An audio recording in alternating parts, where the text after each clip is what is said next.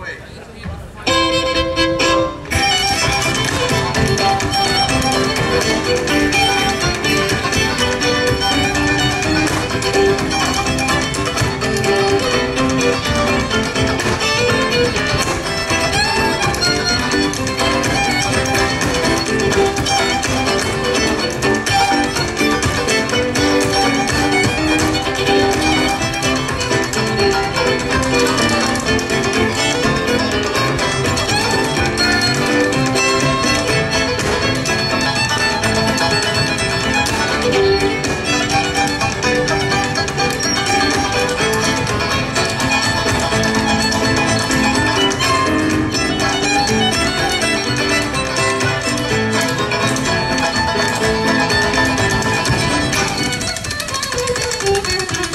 Thank you.